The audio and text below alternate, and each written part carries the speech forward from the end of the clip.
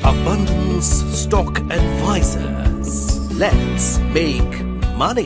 Hello friends abundance stock advisors में आपका स्वागत है तो इस वीडियो में हम देखेंगे कि आप कौन कौन से चार्जेस पे करते हैं जब भी आप कोई स्टॉक खरीदते हैं या बेचते हैं चार्जेस जैसे brokerage STT SEBI regulatory fees transaction charges stamp duty GST वगैरह वगैरह हम लॉन्ग टर्म और short term capital gains tax की भी बात करेंगे, जो आप अपने स्टॉक मार्केट्स के प्रॉफिट्स पर गवर्नमेंट को पे करते हैं।